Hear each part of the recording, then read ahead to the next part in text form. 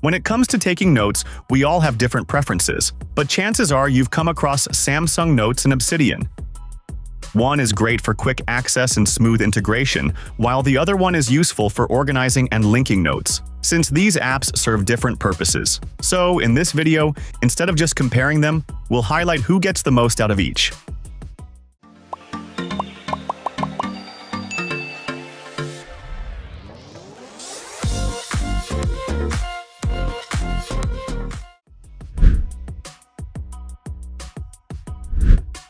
Right from the start, Obsidian and Samsung Notes introduce their unique design approach, shaping how you engage with them. Samsung Notes offers a clean and simple layout that's a preferable choice for anyone looking for an easy way to take notes, especially on Samsung devices. Here, you can quickly write down ideas or reminders without even unlocking your phone.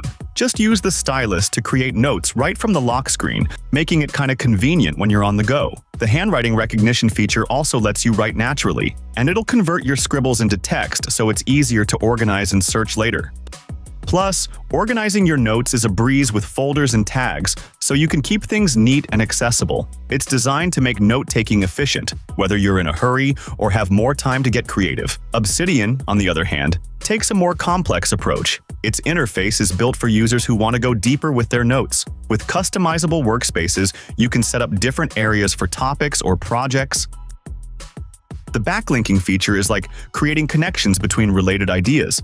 So if you're working on multiple projects, you can easily link them together to see how they relate. And then, the visual graph view takes all those links and turns them into a mind map, so you can literally see how your ideas are connected. It's like building your own knowledge web that grows as you add more info, making it super easy to find connections you might not have thought of otherwise. So, if you're looking for a tool that helps you organize your ideas and projects in a visually intuitive way, Obsidian might be on your list. While Samsung Notes is great for quick, everyday use, Obsidian is for those who want to build a more interconnected note for their thoughts.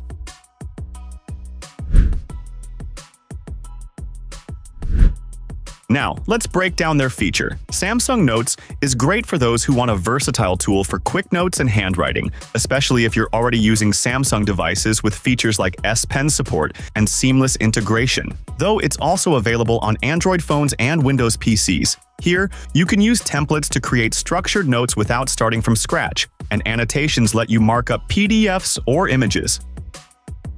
If you want your tasks to be tracked, then to-do lists help you stay organized. Plus, the voice notes let you record ideas, and with offline access, you can check or edit your notes anytime. You can also set reminders so you never forget important stuff. To keep things organized, Samsung Notes supports hierarchy management and even file attachments for keeping related documents in one place. The app covers the basics, but could be improved with features like a web clipper for saving online content and optical character recognition for extracting text from images. On the other hand, Obsidian is about organization and customization. With its markdown-based writing, your notes are portable and future-proof, while its backlinks and graph view allow you to visualize how ideas connect. If you like to customize your workflow, Obsidian's plugin options, including Kanban boards and calendar integrations, make it flexible to use. Plus, users can create and customize templates for consistency, add annotations to highlight the details of their writing, and rely on version history to track changes over time. Important notes can be easily revisited with the bookmarks feature, while to-do lists and reminders help keep tasks organized. It also supports voice notes, allowing for quick audio recordings. Another feature of Obsidian is the Web Clipper, which allows you to save online content directly, and hierarchy management keeps things organized. Even optical character recognition for extracting text from images and scanned documents, making information retrieval easygoing. So if you want a convenient and easy-to-use feature, Samsung Notes is the way to go. But if you're looking for advanced features to build a knowledge base, Obsidian takes the lead.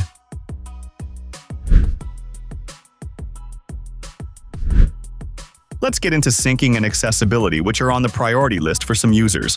For users with Galaxy devices, the ability to access notes directly from the lock screen using the S Pen also, your notes sync automatically through Samsung Cloud, OneDrive, or even Google Drive, so you can start taking notes on your phone and pick it up on your tablet without switching. But it doesn't work as easily on non-Samsung phones or iOS, so it's a bit limited if you're using other devices. On the other hand, Obsidian gives you more control over your notes by working offline first. meaning your data is stored locally on your device by default. And when you're traveling or in a remote location, you still have access to your files. It also seamlessly works across Mac, Windows, Linux, iOS, and Android. And more importantly, you don't need any cloud syncing, but if you want to sync across devices, you can use Obsidian Sync, which is a paid feature, or third-party options like Google Drive or OneDrive. For this, it can be limited for some users. So if you're all in on Samsung devices, Samsung Notes keeps things easy. But if you like having full control over your files and don't mind setting up sync manually, Obsidian is the way to go.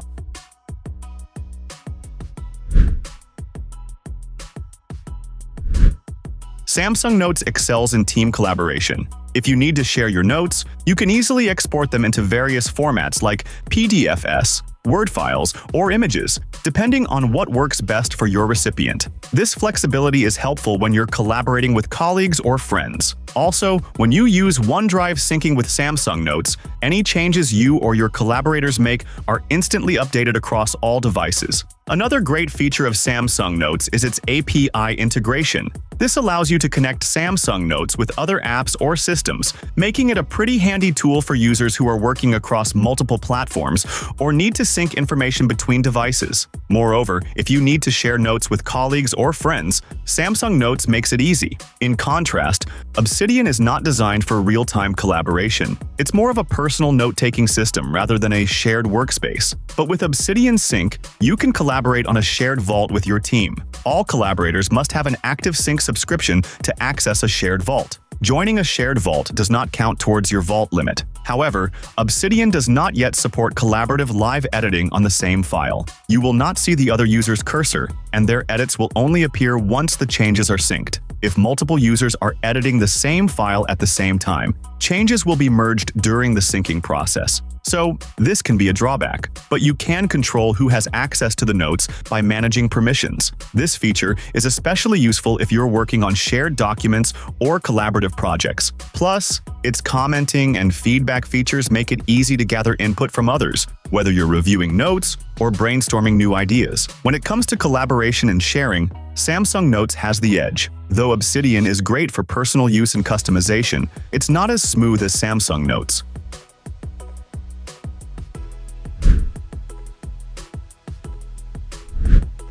Samsung Notes and Obsidian offer different levels of customization and themes, addressing distinct user needs. Samsung Notes is relatively simple and streamlined, offering a set of basic themes for a user-friendly experience. While you can change the theme to a dark or light mode, the level of customization stops there. Its primary focus is on providing a straightforward note-taking experience with minimal distractions. Samsung Notes allows you to adjust the font size and layout for easier reading, but it doesn't offer in-depth theme customization or plugin support. On the other hand, Obsidian is pretty great for those who love to personalize every aspect of their workspace. With Obsidian, you get full control over themes, allowing you to switch between a variety of community-created themes or even create your own with CSS. The app's plugin system allow users to add a wide range of functionality, from task management to advanced writing features. Ultimately, if you want simplicity, Samsung Notes will do the trick. But if you're into customization, Obsidian takes the lead with its options for personalized workflows.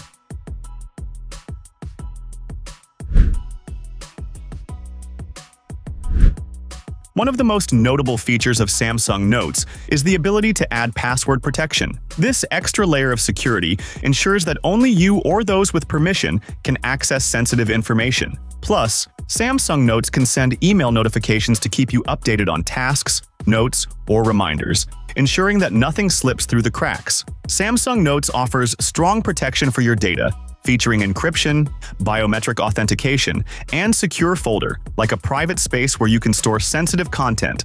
For an extra layer of privacy, Samsung Notes allows you to lock individual notes. This ensures that your personal information remains safe and secure. On the flip side, Obsidian is also built with security and privacy in mind, offering a secure space to store and organize your thoughts. It uses end-to-end -end encryption by default, ensuring that your data is protected. It does not collect personal data from its desktop and mobile apps. and it doesn't gather visitor data unless you choose to customize your site to do so. Third-party plugins and themes must comply with strict developer policies, and users can activate restricted mode to disable any installed plugins. It's worth noting, however, that Obsidian does not encrypt your local vault.